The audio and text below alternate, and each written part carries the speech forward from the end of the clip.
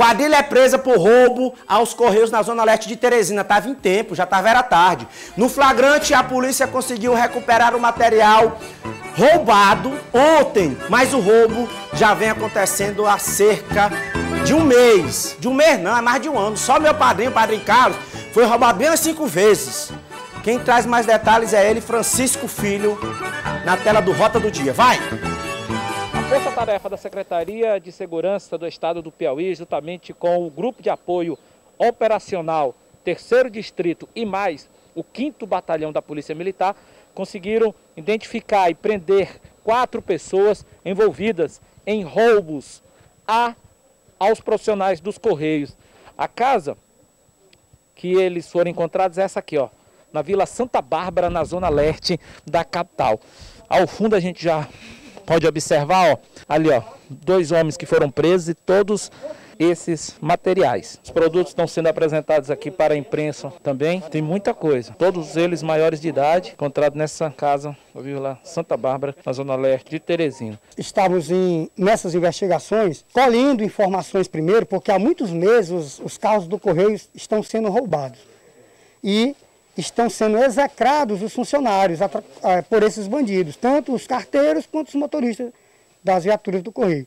Então a gente começou a colher informações e no dia de hoje a gente recebeu a informação de que essa mercadoria estava sendo desovada, como a gente conhece no meio policial aqui nessa residência, e conseguimos dar esse flagrante. As mercadorias do Correio estão aqui. A gente já tem a confirmação através da gerência do Correio de que essa mercadoria é do carro de ontem que foi roubado. A gente já encaminhou a fotografia deles aos funcionários. Se forem reconhecidos, já vão ser autuados em flagrante pelo crime de receptação de furto e também serão pelo crime de roubo.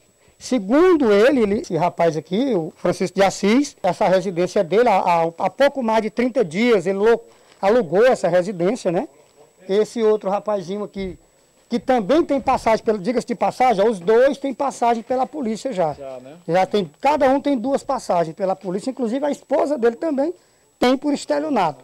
Ou seja, é, é uma quadrilha, né? Hoje, é, é dito como crime de associação para, associação para o crime e todos responderão por associação por o crime também, haja vista que são mais de três que estão participando aqui desse, dessa maiores, atitude né? criminosa. Né? Só uma menor. Você tem alguma coisa para falar?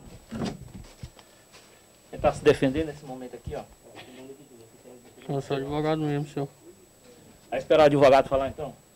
Senhor, meu pai. E você já tem alguma coisa para falar aqui para se defender? Não, senhor. São dois homens, duas mulheres, as esposas dos homens que já estão aqui aguardando para serem levados, né, ô Barbosa? No caso aqui, como crime federal. Correto, a Polícia Federal já foi comunicada. Se trata de um crime que é da competência da Polícia Federal. A gente já teve um contato com um colega da Polícia Federal e já foi acertado a gente conduzir até, a, em vez de levar para a central de flagrante, vai conduzir até a superintendente da Polícia Federal para análise de um delegado saber a situação deles, se faz a, o procedimento por roubo ou se faz o procedimento pela receptação, que a, os objetos foram encontrados de posse deles aí, é, tem quatro pessoas se encontram, duas mulheres e dois homens na, na residência, todos dois já são os e em prática de crime, já tem passagem, já foram, já foram para o presídio. E com certeza a Polícia Federal vai analisar o caso e eles com certeza vão fazer algum procedimento no roubo ou na receptação.